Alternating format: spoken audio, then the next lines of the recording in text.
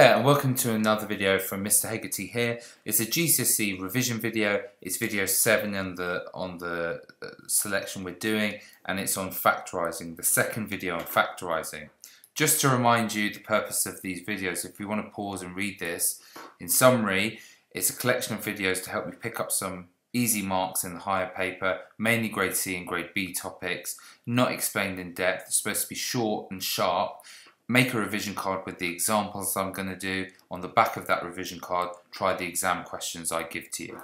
Right, so let's do these examples. Factorize. These are called quadratic expressions. The reason they're called quadratic expressions is their highest term has a squared. x squared, x squared, x squared, x squared, k squared, y squared.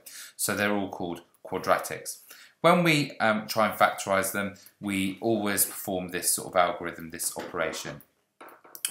We look at the last term, negative, uh, which is 10 in this case, and we ask ourselves, can we think of any two numbers that multiply to that 10 and add up to this number here, the number in front of x, which is 7. So can we think of two numbers that multiply to 10, add to 7? We'll always think of the multiplying ones first, and what multiplies to 10? Well, 1 and 10, they can never add to 7, but also positive 2 and 5 and 2 add 5 is 7. So the numbers are positive 2 and positive 5, so we can factorise this straight away as x with a positive 2 plus 2 and x add 5. Expand that out and check you get that, but you do. Okay, next one. We're looking for two numbers that multiply to negative 10 and add to negative 3. So we're looking to multiply to negative 10 and add up to negative 3. Well, what multiplies to negative 10? Well, um, some combination of uh, 10 and 1, but you can never get a negative 3 from that. But better would be the 5 and the 2. Now, how would we get a negative 3? Well, if it was a negative 5 and a positive 2, these combine to negative 3 and they multiply to negative 10. So this would factorise as x subtract 5, x add 2. Right, next one. We're looking to multiply to negative 10 and add 2. So we're asking to multiply to negative 10 and add 2. Again, multiplying to 10, 1 and 10, you'll never get a 2 out of that. So stick with 5 and 2. So write 5 and 2 down. How could I get a... Uh, sorry, this should have been a 3. My fault here. That should have been a 3. Okay? That should have been a 3. Okay? So how... Uh, sorry, how could you... Um, how could you get a uh, 5 and 2 must multiply to 10. How could you get 3 out of it? Well, positive 5 and negative 2. So this would factorise to x add 5, x subtract 2. Okay, the next one, multiplying to positive 10 and adding to negative 7. So you want to multiply to positive 10, but we want to add up to negative 7.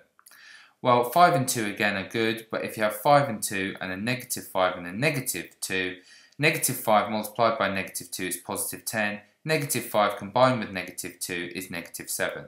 So this would be x subtract 5, x subtract 2. Right, what about this one here? Well, when k squared subtract 1k, remember there's a hidden 1 there, subtract 12. So we're looking to multiply to negative 12 and we're looking to add up to negative 1. Well, what multiplies to 12? Well, 12 and 1, but you can't get uh, you can't combine them to get a 1 but 3 and 4 would be good numbers. And how could you combine them to get a negative 1? Well, a positive 3 and a negative 4. And positive 3 multiplied by negative 4 gives you the negative 12, and they combine to negative 1. So this in this case would be k add 3, k subtract 4. And last one here, remember y squared subtract, there's no y's, subtract 49. So we could rewrite this as y squared subtract 0 y's subtract 49. That's the best way to, to write that. Remember there's no y's. And now we're looking to multiply up to negative 49 and add up to 0. Well, what multiplies 49? 7 and 7. And if you had 1 as a positive and 1 as a negative, positive 7 multiplied by negative 7 is negative 49, and positive 7 add negative 7 is the 0y. So this would be y add 7, y subtract 7. Okay, they're the six examples. Now try the exam questions I'll pause the, pause the video, I'll go through in 10 seconds.